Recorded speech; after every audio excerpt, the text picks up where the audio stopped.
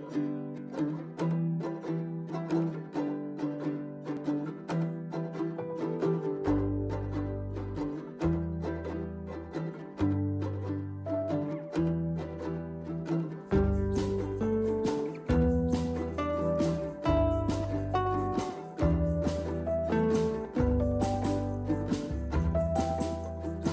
Hello everyone, uh, welcome to my video and welcome to my top things to do in the Lake District that you might not have thought about. Um, so I visited the Lake District a couple weeks ago now and it was absolutely amazing. The Lake District is a national park in England and not only is it the largest national park in England, it's also home to the highest peak in England which is Scafell Pike as well as the largest lake in England which is Lake Windermere. So you can see why it's the most visited national park in the UK. Um, so Make sure you subscribe if you enjoy the video, and without further ado, let's begin the list. So the first thing to do in the Lake District is visit a place called Rydal Cave. Uh, now Rydal Cave is a full-on hidden gem um, and it's so surprising because it is literally slap bang in the middle of the Lake District. Um, it's about a 10 minute drive from the town of Ambleside which is really popular, I'm sure you might know it. So there's a few really nice walks around this cave and you've got a couple of great options uh, to walk to the cave.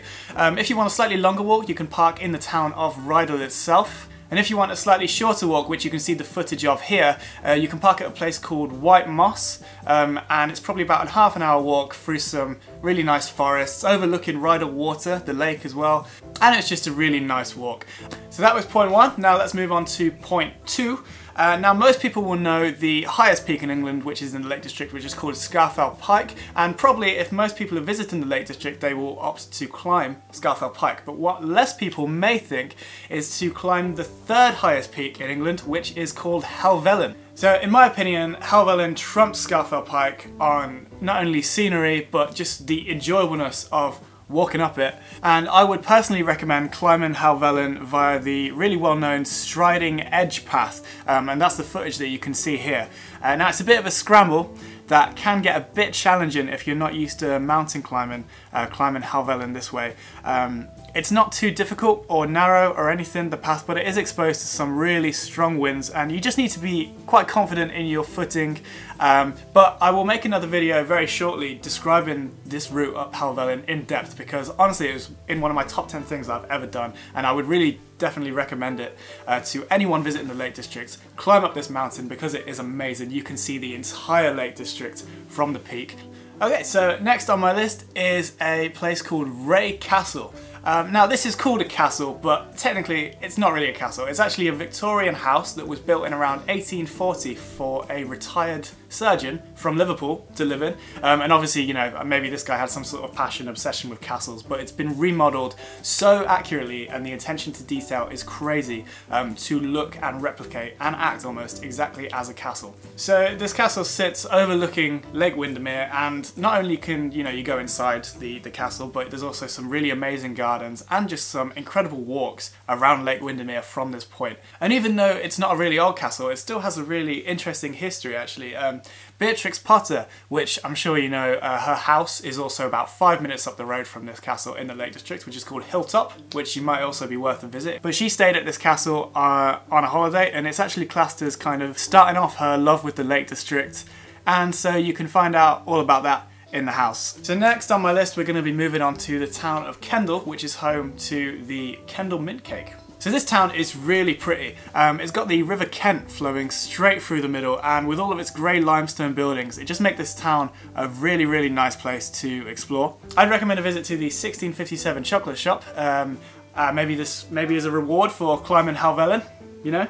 But you can do this as well as checking out the many gorgeous looking churches in this town, as well as the art gallery, uh, museum, and of course, Kendal Castle. So Kendal Castle is completely free and this castle overlooks the entire town. Um, so it's the ruins of a classic 12th century home to the Lancaster family who used to be the barons of Kendal um, and considering that it's been in ruins since Tudor times it's actually really very well preserved um, and there's a lot of great information written around as you explore the castle and enjoy the amazing views of Kendal so I would definitely recommend a little detour and visit to this castle. And so moving on now from the town of Kendal to uh, a good old stone circle.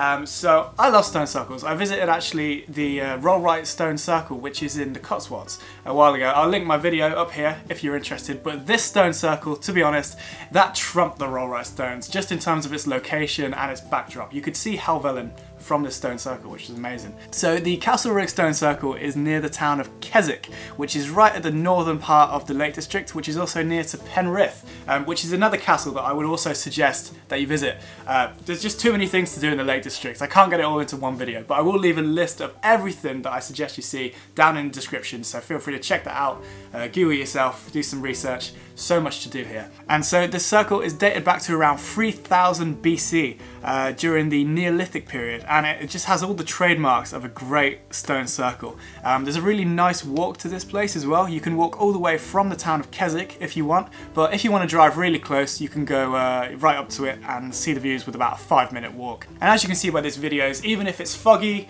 and raining, it doesn't matter, it still looks just as incredible. So definitely go and visit. So technically, um, the next thing on my list is not actually in the Lake District, it's technically in the Yorkshire Dales. Um, I visited this on the way to the Lake District, but it's really close, and I would suggest if you're going past it and you want to stop off on your trip, this is the place.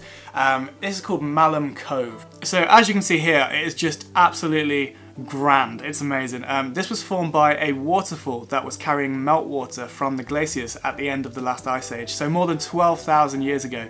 Um, and there's just some amazing walks that you can see. You, you, can see it from the bottom or you can walk up to the top and even look over the edge. Um, and also within a half an hour walk nearby is a place called Gordale Scar. Now I don't have any photos of Gordale Scar because I didn't personally go. Uh, we planned to but we were running a little bit low on time but I would definitely suggest uh, check it out on Google um, and really kind of visit it. It looked just as incredible as Malham Cove. So I'm reaching the end of my list now. Very sadly, I've got two more places left and I'm going to be talking about some great towns um, that are in the Lake District. So firstly, I mentioned it earlier, but it is the town of Keswick, which is on the northern part of the Lake District.